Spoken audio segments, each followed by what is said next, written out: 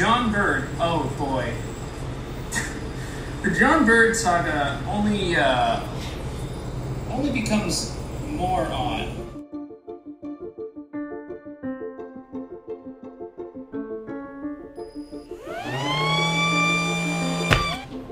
It's been a while since I last posted. I've been busy. I don't have the time like I used to. I eat three apples a day. I'm a father now. To 30 harvester ants. See, the internet ridiculed my first clock. I had to change everything. I never lost hope, though. I saw the potential. This time I would make it right. I would seek guidance. I had to send my clock to someone who knew more than me.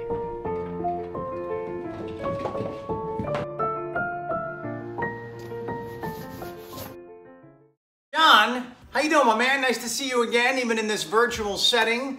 Uh, all right, check it out, John. John, I gotta tell you that uh, I've been looking at the clock that you sent me and and that you created, and I think it is incredible. Okay, I'm actually gonna go out on a limb here and add that uh, when I, John, when I look at it, it's uh, it is honestly better than any drug that I've ever taken. Okay, so let's just start there.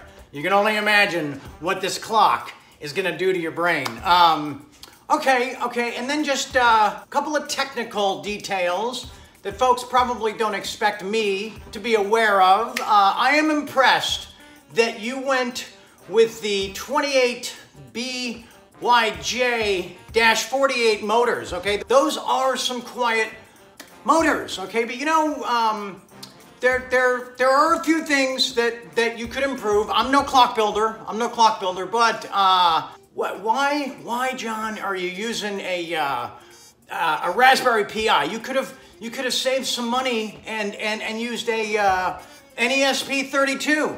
Okay, I don't want to, I don't want to undo um, the whole invention. Um, but, but have you thought about uh, uh, doing something besides? shift registers. Okay, okay, I know it's a lot to think about, but most importantly, John Burd, uh, your clock is amazing. Keep up the great work. Right on, my man. I'm out. Charlie's feedback was incredible. I immediately set up R&D center in my kitchen.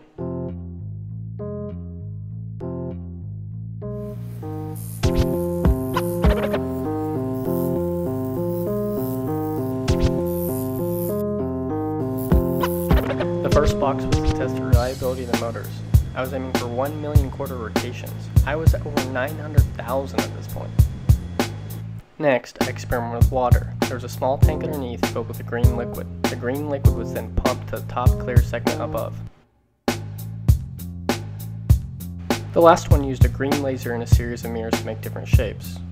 Due to a water spillage, I wasn't able to make it work again. And the lack of funding made me stop these projects altogether. The clock would work like this. There was five main computers, not like this, but like this. The main computer was an E ESP8266. It controlled four ATmega 328Ps. The whole system looked like this and communicated over RS-485. There's two code bases, one for the ESP and one for the ATmega.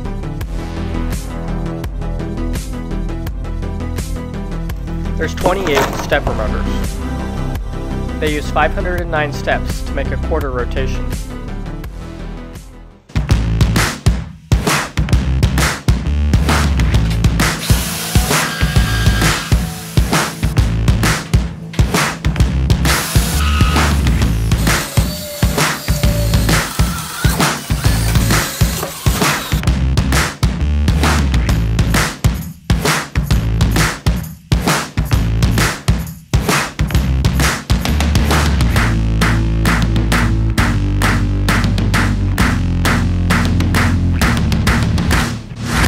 Really wanted my clock to be great, it couldn't look like this.